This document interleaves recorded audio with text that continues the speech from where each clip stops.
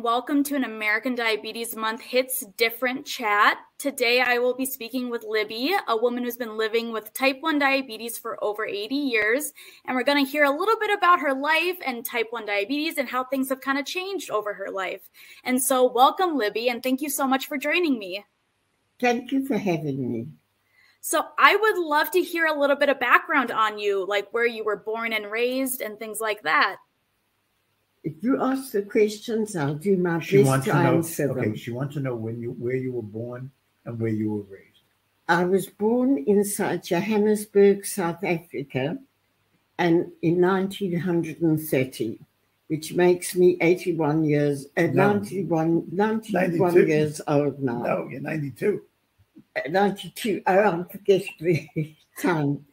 And I was born in a, a, a city equivalent probably to Manhattan, but not nearly as big.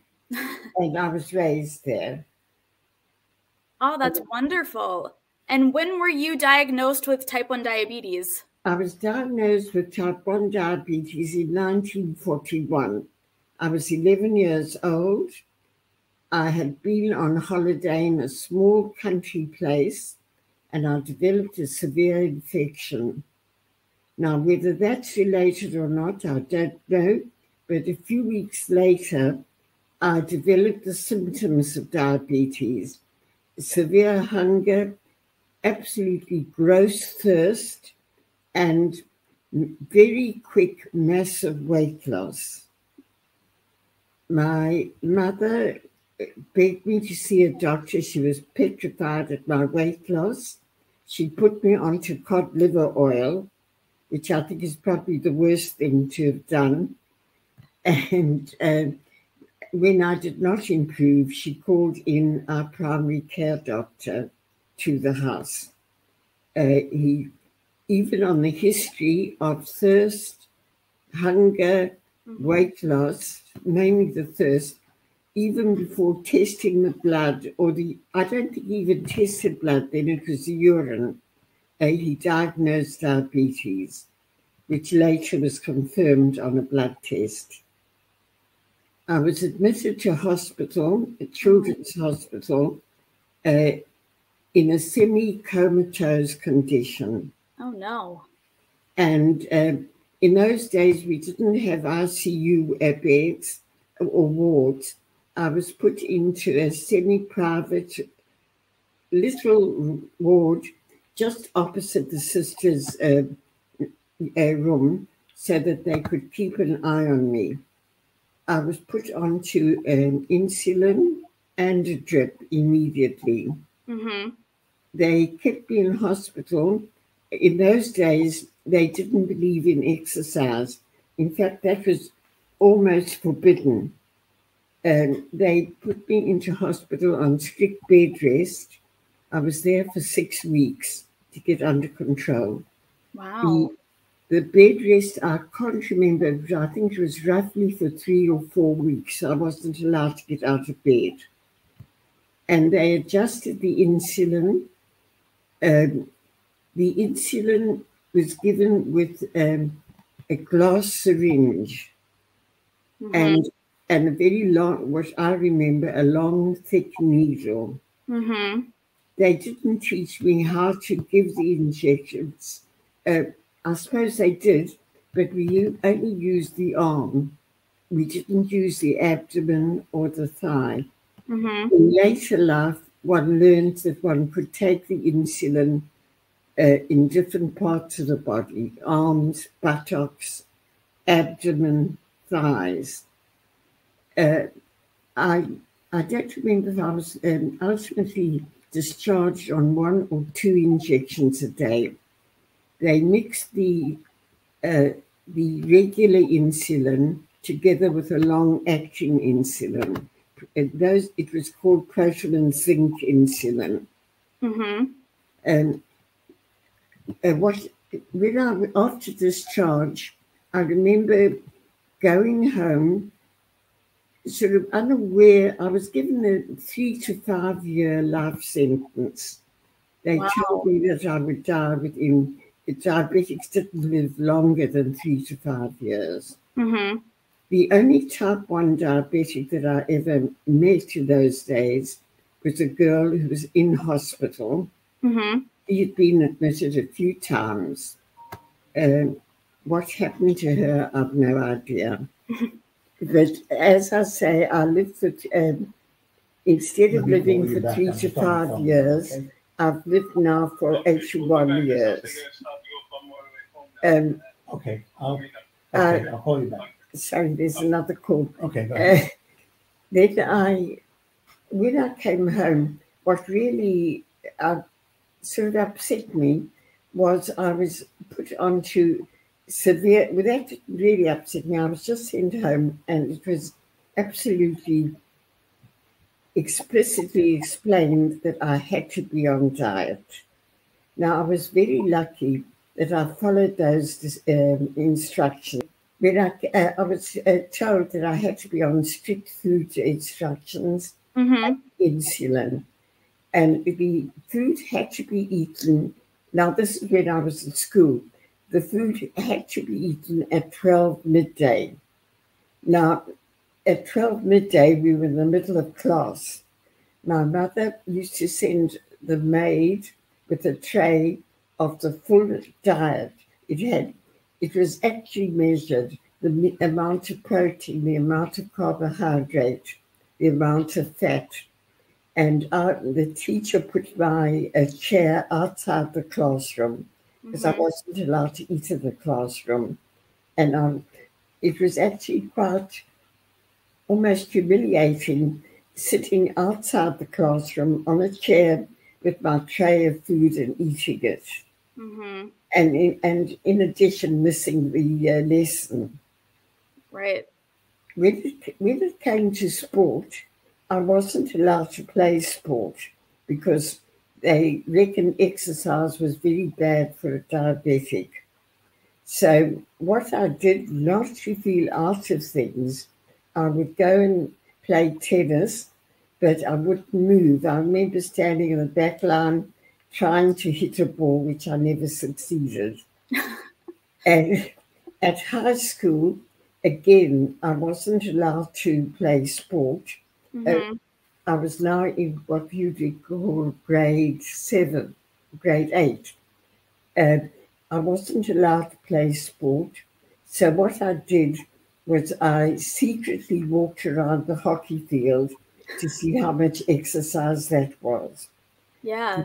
Then I decided not to be different to anyone else. I uh, played netball goalie, where you don't have to run, all you do is catch a ball Mm-hmm. which are often missed.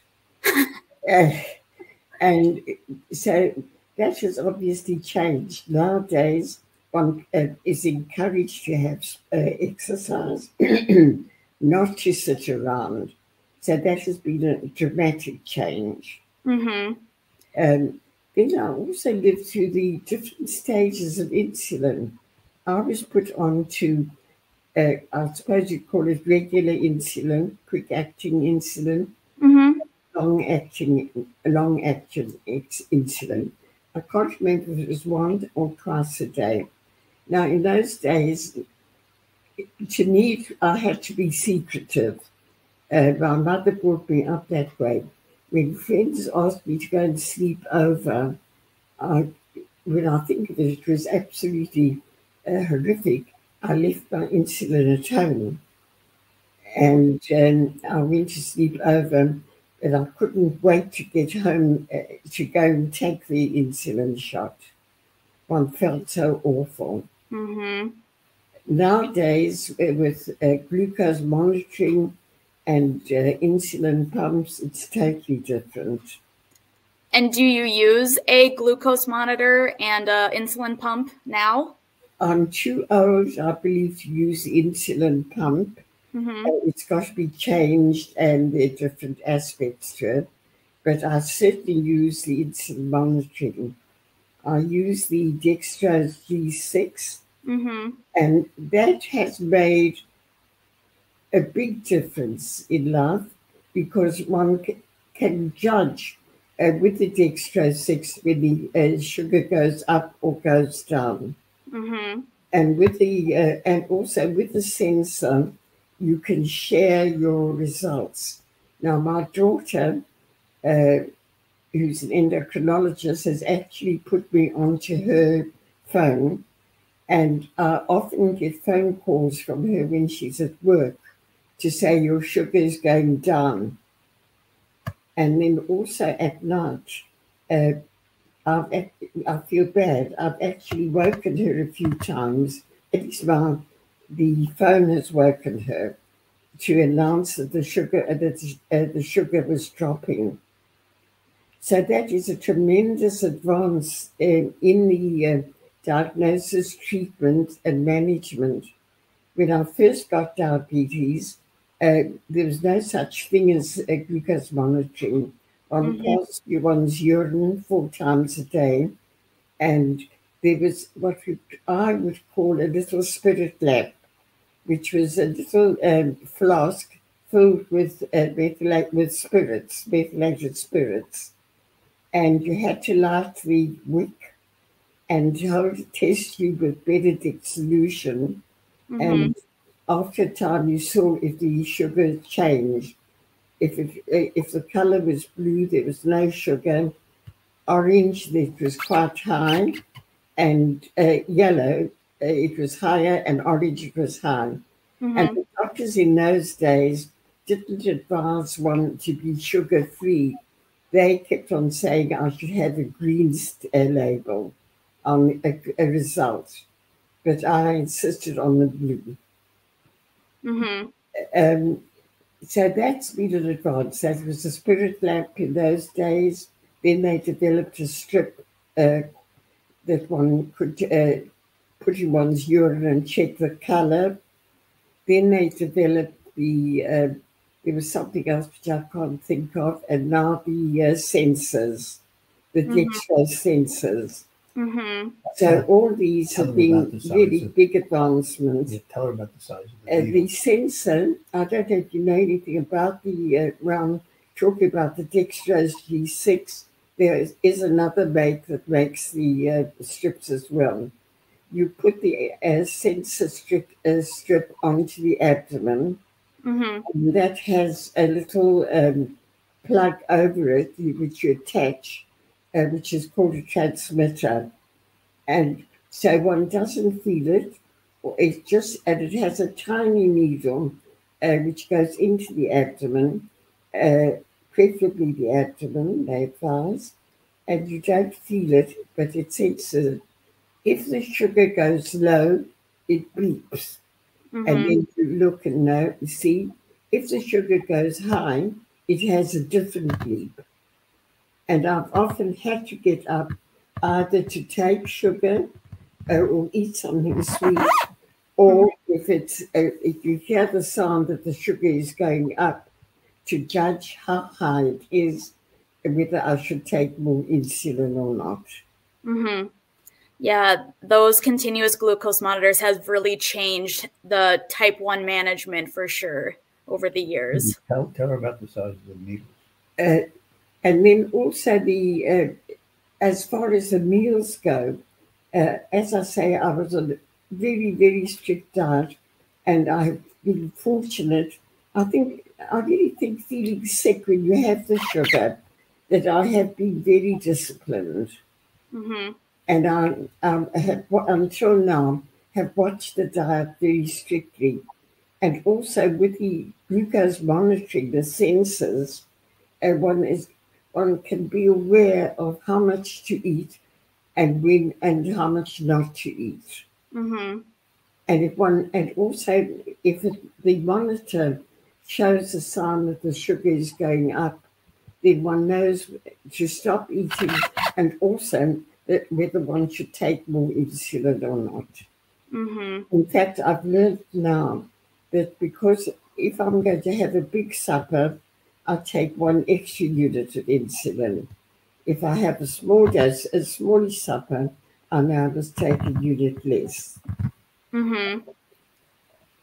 Absolutely. And how do you think type 1 diabetes has shaped who you are in today? How has it shaped me today? Yep. Mm-hmm. Uh, quite honestly, I don't even think about it because, as far as I feel, I've grown up with it. I've been normal. I've led a very normal life. Mhm. I'm fortunate. Uh, I read. I was went to. I passed schooling. I, I became a doctor, which I always wanted to be, even before I was diabetic. Mhm. I had the education. I was head of a, a unit at unit at uh, the, the unit uh, med, uh, campus health campus. I was head of the health service there. Mhm. So I've been either I've shaped my life by being disciplined, or I've been very lucky. But being a being a diabetic uh, at school, it was hard. I felt different. Mhm. Uh, I was very complex. I didn't want my friends to know. Whether they knew or not, I don't know. But uh, I, I was normal. I tried to be normal, and I was normal. Yeah. If we went mountain climbing, I held my breath, but I went. I was afraid to. Whereas nowadays, with the modern treatment, I wouldn't be afraid. I'd know I'd take with some food if I needed, and I'll take and I'll take with the insulin.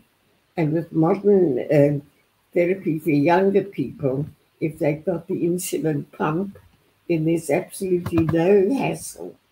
Mhm. And as far as uh, you know, ju- type one diabetics go, if young people and even old people realize that they are no different to anyone else, that it's not a death sentence, as long as they take their uh, insulin and have their food. Yeah, absolutely. If you could go back and tell your younger self what to expect over your diabetes journey, what would you say? I would say uh, it's a bit of a hassle, but if you look after yourself, if you take your, uh, I think the main thing is watch your diet Mm-hmm. and have your insulin. You are no different to anyone else. And also, I think the most important thing is that one succeeds in whatever one wants to do as long as you work at it. Mm-hmm. Well, I, as a type 1 diabetic myself for 20 years, I love hearing your story and everything you've seen in technology and advancements. And if there is one thing that you wish everyone out there could know about type 1 diabetes, what would that be? To be disciplined, to act normally, and not to have self pity, because one is as good as the next person. Absolutely. Well, is there anything else you would like our watchers out there to know about it, about your life and your journey? Sorry, in, just repeat that. Anything else that you want to tell them? Yep. Anything else you'd like to mention? Yeah, I just want to mention that people sort of get afraid when they get diabetes. That's young and old. Mm-hmm. But one's just got to accept it and uh, and act, act normally and be normally. For example, I was afraid to get married. I was afraid I was going to die. Uh, what was the point? And yet, we we I got married. I, I told my husband, who needed three days to think of, he was a solemn type. He needed three days to think if he should go ahead and marry me. Mm-hmm. And I was told I couldn't have children. I was fortunate I had two children, a boy and a girl. I was told that it was a miracle to have a son, for a diabetic to have a son. I was fortunate, I was a miracle, I had a son and a daughter. I have now met one or two uh, type 1 diabetics uh, who've had four children. Mm-hmm. In my day, it was absolutely not allowed. So there is really no difference as long as one is careful. Mm-hmm. And as long as one realizes, I'm going to say it in inverted commas, that one is not different to anyone else. Absolutely. And, sorry, I was going to say, I think that is the main message that a type 1 diabetic is as good as anyone else. I have to agree with you. That is a great message for everyone to hear. And I really must thank you, Libby, for sharing your story with us. It's an inspiration to hear what you've seen and the advancements and the changes that have come with your life and throughout the last, you know, 80 years. Um, and thank you all out there for listening on this Hits Different chat. We hope that you found some inspiration and light in Libby's story, like I just did. And please keep checking back at the American Diabetes Association social media pages for more stories and advancements all throughout the month of November. So thank you again, Libby, for telling us your story. Yeah, it's a pleasure. Just one more thing that I remember. Of course. When I was high, well, it's actually funny, not then. Uh, when I was hypoglycemic and I had a geography exam, well, I had a geography anyway, but, but I failed the exam because I wrote a complete exercise book with the same, uh, repeating the same line on the same thing on every line. Mm-hmm. So I got 0%, but fortunately they passed me on my year's work. well, that is a great story, and I'm so glad you shared that with us. Thank you so much for telling us your stories and your life, and we really appreciate it. Now, thank you, and thank you for having me, and good luck for you. And you're at this stage of life, you'll live till a hundred years. I hope you're right. I hope so too. I'm sure. I'm sure I will be. All right. Thank you so much. You're welcome.